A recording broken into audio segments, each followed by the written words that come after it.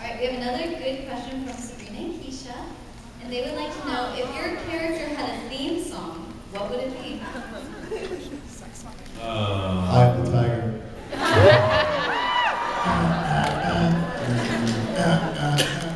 I would be the uh, Baywatch theme song.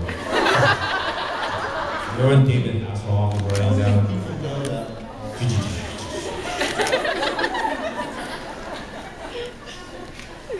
I don't think anyone in this room knows. What are you talking about? They all got a good laugh out of it.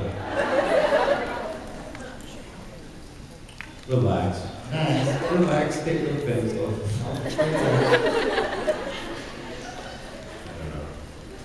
My go-to phrase. Just what happens when you spend this much time, right? No. Start. we can start getting weird. All right, because you've gone to all the